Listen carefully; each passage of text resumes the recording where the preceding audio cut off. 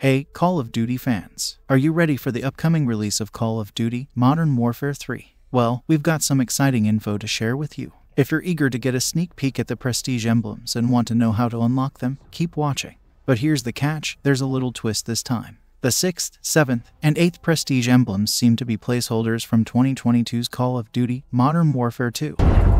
We need to know if he's working with. And not just that, the emblem icons seem to be taking a cue from Call of Duty Vanguard just like in Vanguard, where the second, third, and fourth emblem icons were variations of the first one, you can expect a similar trend in Modern Warfare 3. The very first prestige emblem is unlocked by progressing to level 61 in the game's multiplayer mode. The second prestige emblem is unlocked by progressing to level 101 in the multiplayer mode. The third prestige emblem is unlocked by progressing to level 151 in the multiplayer mode.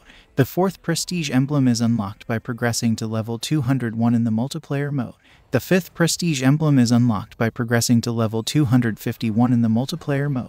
The sixth prestige emblem is unlocked by progressing to level 301 in the multiplayer mode. The seventh prestige emblem is unlocked by progressing to level 351 in the multiplayer mode.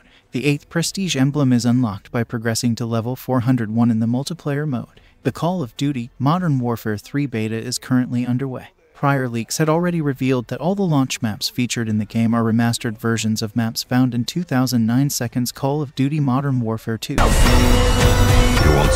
Additionally, it was revealed that player health in the multiplayer mode would be higher by 150% compared to 2022 Second's Call of Duty Modern Warfare 2. Red dots on the minimap, map voting, and the Stalker perk are all making a return in Modern Warfare 3. Also, the tactical sprint now recharges during regularly sprinting. So, get ready for a thrilling gaming experience and stay tuned for more updates on Call of Duty Modern Warfare 3. Bravo to Watcher. Target secure.